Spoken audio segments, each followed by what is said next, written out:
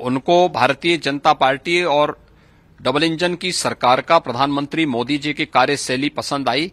उन्होंने भारतीय जनता पार्टी को आज अपना, यानी की सदस्यता ली है। हम उनका स्वागत करते हैं और हमें विश्वास है कि अपर्णा जी भारतीय जनता पार्टी के साथ मिलकर के इस बृहद परिवार का हिस्सा बनकर के भारतीय जनता पार्टी को मजबूती प्रदान करने और अपने सामाजिक सेवाओं को इस मंच के माध्यम से आगे बढ़ाने का कार्य करेंगे।